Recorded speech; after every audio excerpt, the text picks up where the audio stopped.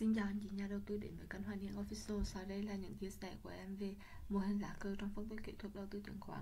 À, thứ nhất có gồm có bốn phần. Thứ nhất là định nghĩa, thứ hai là cả à, thành phần chính của à, lá cờ, thứ ba là phân loại mô hình lá cờ và thứ tư là ý nghĩa của mô hình lá cờ.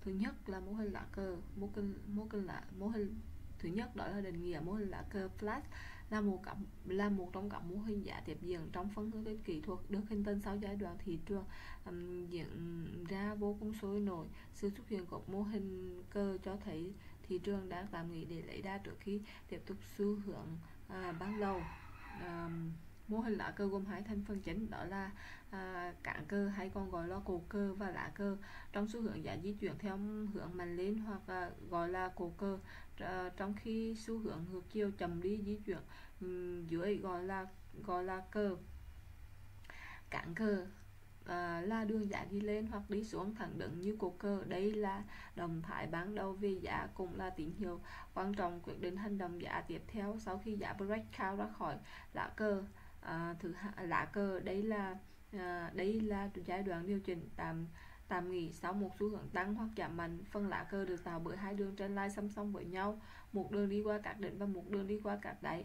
À, phần phần lá cờ có xu hướng ngược lại so với phần cản cờ. Sự tiếp diễn xu hướng sau khi giá breakout khỏi lá cờ mô hình sẽ mô hình sẽ tăng hoặc giảm mạnh theo xu hướng cũ. À, thứ ba đó là phân loại mô hình cờ à, gồm có mô hình lá cờ tăng à, ờ, mô hình lá cờ tăng thường xuất hiện sau một xu hướng tăng mạnh hoặc cũng có thể chỉnh nhẹ tăng nhẹ với đồ dốc cản cơ thoái thoải.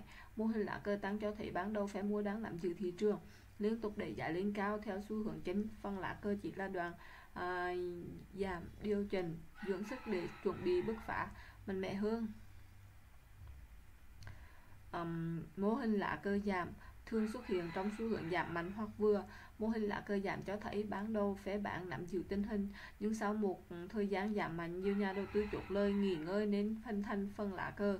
Khi tích lũy đủ phế bán sẽ dùng lực đẩy giá breakout, phá vỡ đường canh giá dưới, à, đẩy giá theo xu hướng cũ.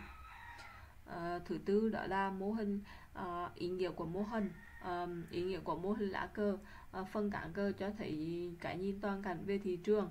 Biên độ dao động của lá cờ đánh giá sự hiệu quả của mô hình à, cung cấp tín hiệu vào lần tối ưu.